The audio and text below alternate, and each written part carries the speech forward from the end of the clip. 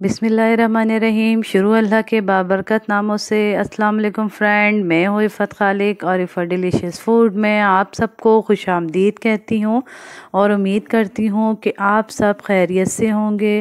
Friend, आज हम बहुत यमी सी डिश बनाने जा रहे हैं। बहुत ही मज़ेदार है, मुझे बहुत पसंद है। तो इसलिए मैंने सोचा क्यों ना मैं आपके साथ इस रेसिपी को शेयर करूँ। बहुत ही इजी है और बहुत ही मज़ेदार बनती है। आइए चलते हैं हम रेसिपी की तरह।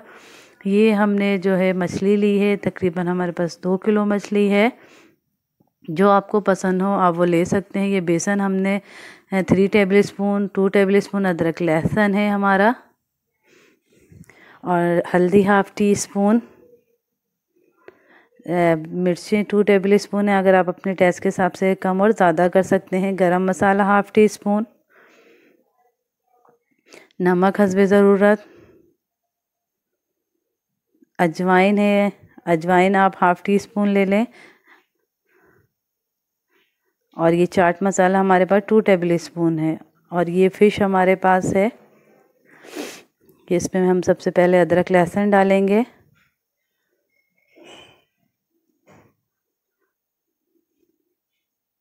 बहुत टेस्टी बनती है फ्रेंड ये मछली।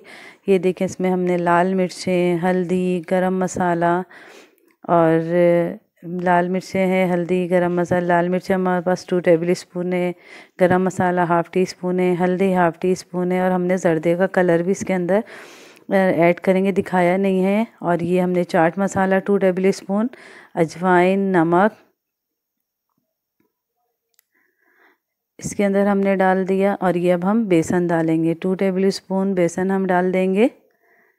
अगर आपको इसमें लीमू डालना थोड़ा सा खट्टापन चाहते हैं तो आप इसमें लीमू या सिरका डाल सकते हैं, लेकिन हमने इसमें नहीं डाला क्योंकि आजकल आपको पता है मौसम चेंज हो रहा है। तो इस वजह से, अब ये देखिए हमने जर्दे सॉरी जर्दे का कलर आप कह देंगे ऑरेंज कलर वो डालेंगे, इसको हमने अच्छी तरह से मिक्स कर लिया मसाले के साथ कि हर एक पे कोड हो गई है।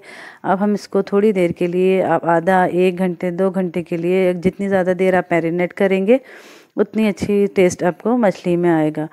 अब हम इसको फ्राई कर रहे हैं, हम शेलो फ्राई कर रहे हैं डीप फ्राई नहीं कर रहे। अगर आप डीप फ्राई करना चाहें, आप डीप फ्राई कर सकते हैं। ये हम इसको मछली को फ्राई कर रहे हैं ये हमने इसको जो है, इसमें रख दी है। अब जब एक वन साइड से हो जाएगी तो हम इसको पलट देंगे। ये देखिए वन साइड से हो चुकी है तो हमने इसको पलट दिया है। कलर बहुत ज़बरदस्त लग रहा है फ्रेंड इसका टेस्ट भी बहुत अच्छा था। फ्रेंड्स मेरे चैनल को सब्सक्राइब कीजिए लाइक कीजिए और ब्लैक आइकन को प्रेस कीजिए।